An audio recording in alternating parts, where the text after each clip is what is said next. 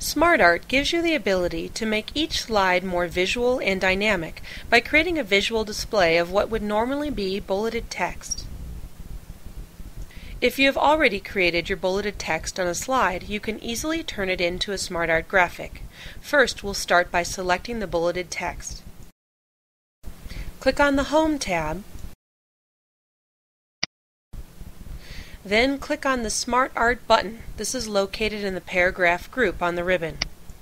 You will see a preview of some of the Smart Art types. However, we're going to choose More Smart Art Graphics from this menu. This will display all of the different Smart Art graphics. By clicking on the categories on the left-hand side, we can see the different SmartArt graphic types for that category. We're going to select the List category.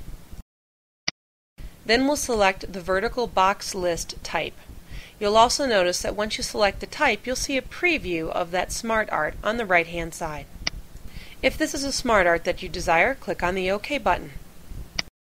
Once your SmartArt has been created, you can quickly format anything you'd like about the SmartArt.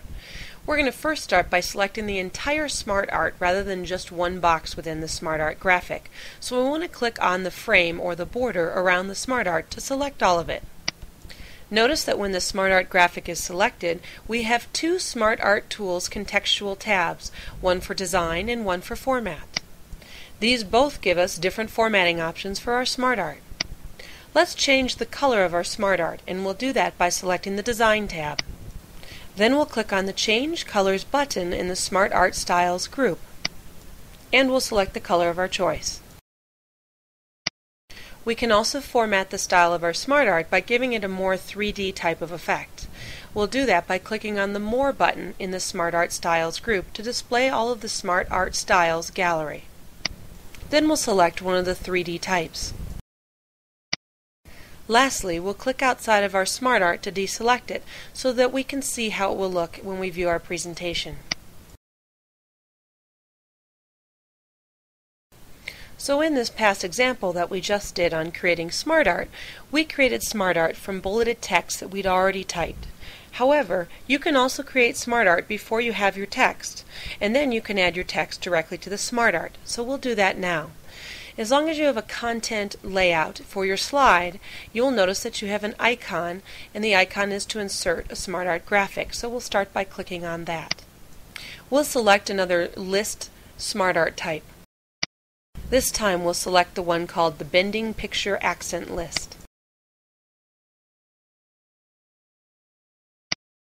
Once your SmartArt is inserted, you could type your text directly into the text boxes. However, you'll notice on the left-hand side some double arrows. These will open up a bulleted list box that make it easy for you to add your text directly to the SmartArt.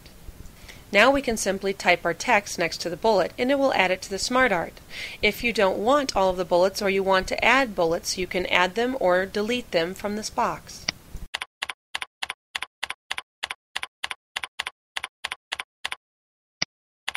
Notice that then this directly adds or deletes the various SmartArt graphics.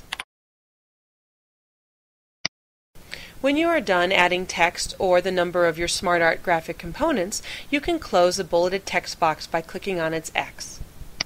Some SmartArt designs let you insert a picture or graphic directly into the SmartArt, such as this case. We'll start by clicking on the icon in the SmartArt graphic that allows us to insert a picture. We'll select our desired picture from the Insert Picture dialog box and then click the Insert button. This will add the picture directly to our SmartArt.